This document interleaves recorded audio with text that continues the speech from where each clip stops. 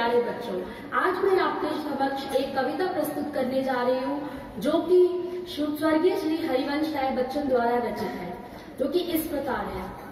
लहरों से डरकर नौका कभी पार नहीं होती, लहरों से डरकर नौका कभी पार नहीं होती, कोशिश करने वालों की कभी हार नहीं होती, कोशिश करने वालों की कभी हार नहीं होती, नन्ही चीटी जब दाना लेकर चलती है, नन्ही चीटी जब दाना लेकर चलती है, चढ़ती दीवारों पर सौ बार फिसलती है, चढ़ती दीवारों पर सौ बार फिसलती है, मन का विश्वास रगों में साहस भरता है, मन का विश्वास रगों में साहस भरता है, चढ़कर गिरना, गिरकर चढ़ना, चढ़कर गिरना, गिरकर चढ़ना ना अखरता है, आखिर उसकी मेहनत बेकार नहीं होती कोशिश करने वालों की कभी हार नहीं होती।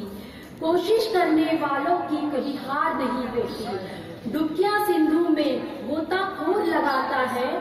डुबकिया सिंधु में गोताखोर लगाता है। जा जाकर खाली हाथ लौट कर आता है। जा जाकर खाली हाथ लौट कर आता है। मिलते नहीं सहज ही मोती।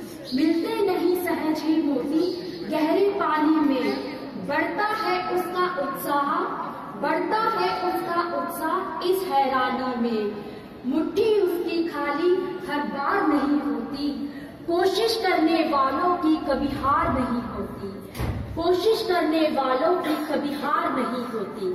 अंतिम पद है, असफलता एक चुनौती है। असफलता एक चुनौती है, उसे स्वीकार करो। असफलता एक चुनौती है, उसे स्वीकार करो।